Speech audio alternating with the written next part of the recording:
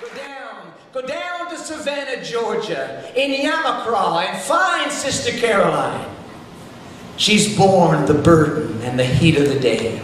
She's labored long in my vineyard, and she's tired, she's weary. Go down, death, and bring her to me.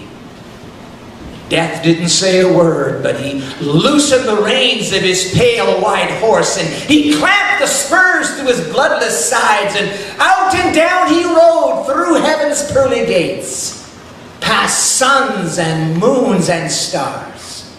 On death rode, leaving the lightning's flash behind, straight down he came. And while we were watching round her bed, she turned her eyes and looked away she saw what we could not see. She saw old death. She saw old death coming like a falling star, but death didn't frighten Sister Caroline. He looked to her like a welcome friend. And she whispered to us, I'm going home. And she smiled and closed her eyes.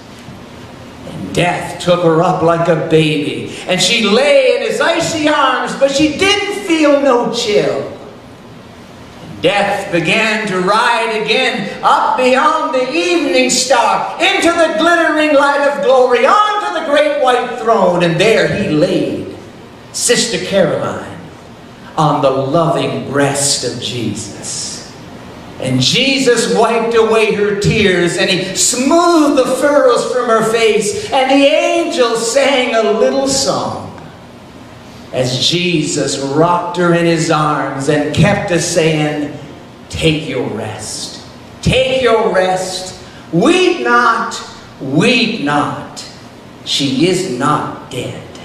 She's resting in the bosom of Jesus.